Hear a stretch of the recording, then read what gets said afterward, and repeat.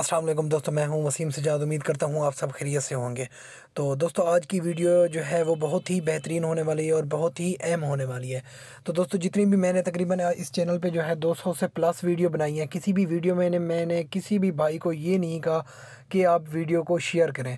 لیکن میں آپ کو اس ویڈیو میں ضرور کہوں گا کہ جتنا ہو سکے اس ویڈیو کو شیئر کریں، تاکہ جتنے بھی بھائی ضرورت مند ہیں، جن کو ضرورت ہے تو ان کی ضرورت پوری ہو سکے۔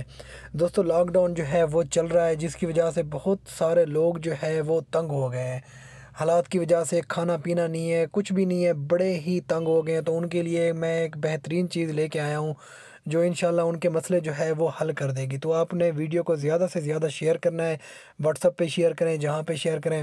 تو دوستو، اس کے لیے آپ کو کرنا کیا پڑے گا؟ ایک اپلیکیشن ہے، جس کی لنک جو ہے میں آپ کو اسی ویڈیو کے نیچے ڈسکرپشن میں دے دوں گا۔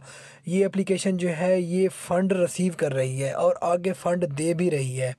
تو یہاں پہ آپ دیکھ سکتے ہیں، ایک لاکھ چودہ ہزار نو سو چھیانوے جو ہیں وہ ان کے فنڈ میں جو ہے وہ رسیو ہو چکے ہیں۔ یہ میں اس اپلیکیشن کو پہلے سے یوز کرتا ہوں، تقریباً مجھے سال سے اوپر دو سال ہو گئے ہیں میں اس کو یوز کرتا ہوں۔ تو آج ہی انہوں نے یہ سسٹم لگایا اور آج ہی ان کے فنڈ میں ایک لاکھ چودہ ہزار نو سو چھیانوے جو ہیں وہ یہاں پہ وصول ہو چکے ہیں۔ تو یہاں پہ جو بھی بھائی غریب جس کو چاہیے ہوں، تو یہاں پہ اس نے کیا کرنا ہے؟ گیٹ ڈونیٹ پہ کلک کرنا ہے۔ مطلب کہ اگر آپ ہیں، اگر جس بھائی کے پاس موبائل ہے اور اگلے بندے کا آپ کا کوئی پڑوسی ہے، کوئی بھی ہے، وہ غریب ہے، آپ نہیں ہے کوئی اور ہے، تو اس کے پاس موبائل نہیں ہے، تو آپ اپنے موبائل سے جو ہے اس کو لاگ ان کریں۔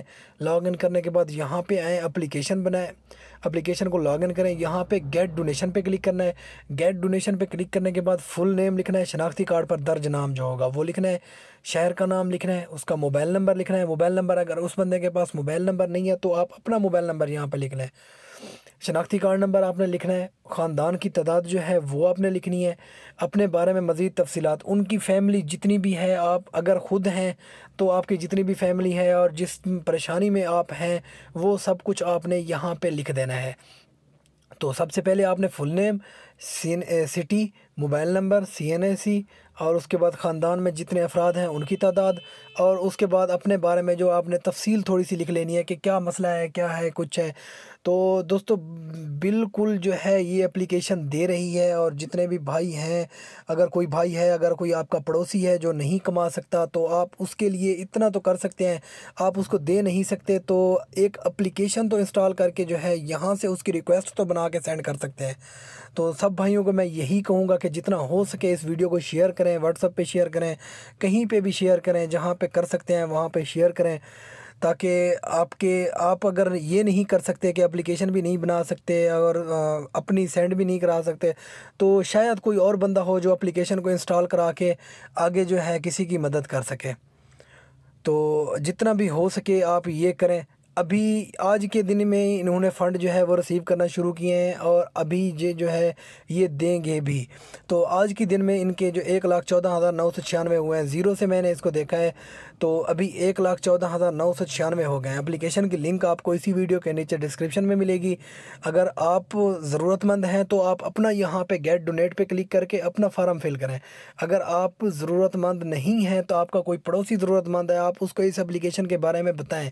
اگر اس کے پاس موبائل نہیں ہے تو آپ اس پہ مہربانی کریں، اگر آپ کچھ دے نہیں سکتے تو دو منٹ کے لیے اس کے لیے یہ فارم فل کر کے دے دیں۔ اس کا موبائل نمبر، اس کا شناختی کارڈ نمبر اور اس کا خاندان میں تعداد تفصیل جو ہے وہ کر کے سبمٹ کر دیں۔ تو یہاں پہ اگر میں چاہتا تو میں اپنا بھی کر سکتا تھا اور یہ اپلیکیشن ہنڈریڈ پرسینٹ دیتی ہے۔